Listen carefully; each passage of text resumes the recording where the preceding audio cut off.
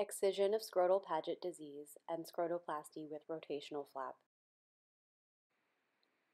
Extramammary Paget disease is an uncommon intraepithelial adenocarcinoma of sites bearing apocrine glands.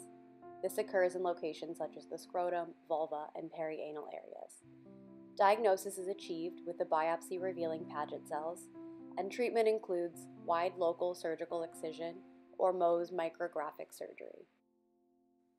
In 10 to 30% of cases, extramammary Paget disease is associated with a second concurrent malignancy.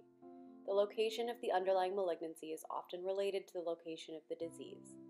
In the case of scrotal extramammary Paget disease, this can be associated with urethral, bladder, and rectal cancers. For this reason, the workup includes cystourethroscopy, colonoscopy, and CT scan of the abdomen and pelvis. We present a case of a 74 year old male who presented with erythema of the scrotum for one year. He had no improvement with topical steroids. A punch biopsy with dermatology revealed extramammary Paget disease. His metastatic workup was negative.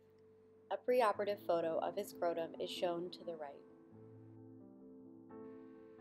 In this video, we will demonstrate our surgical technique for excision of scrotal Paget disease, followed by reconstruction.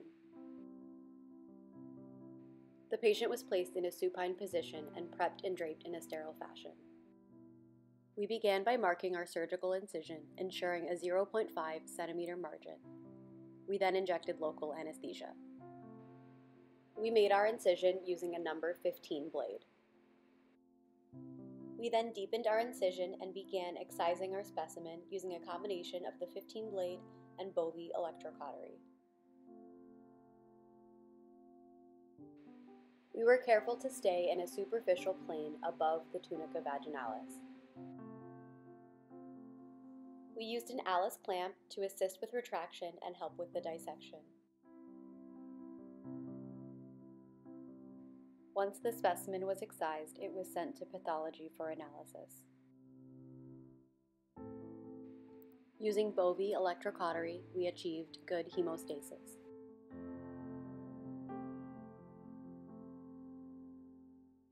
We then began planning our closure. The defect measured 9 centimeters by 9 centimeters. Given the large size, we decided to plan for a rotational flap and scrotoplasty for closure. We mobilized the scrotal skin by using a combination of electrocautery and Metzenbaum scissors.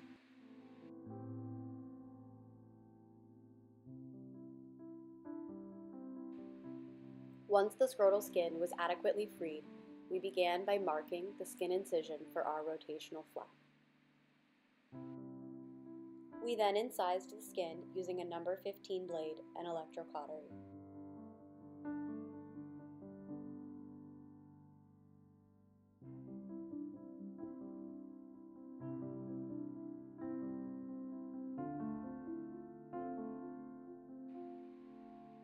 Using Allis clamps, we marked our planned closure.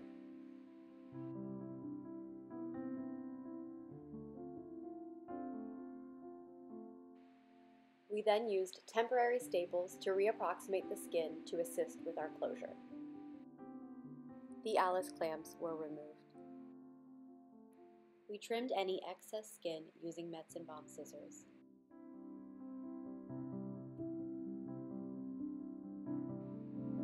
Once again, we achieved hemostasis.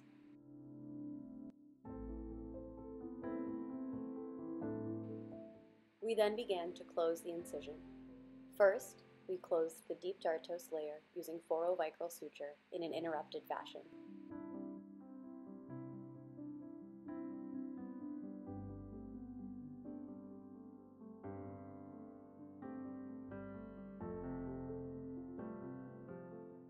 Once the deep dartos layer was completed and the skin was reapproximated, we removed our temporary staples.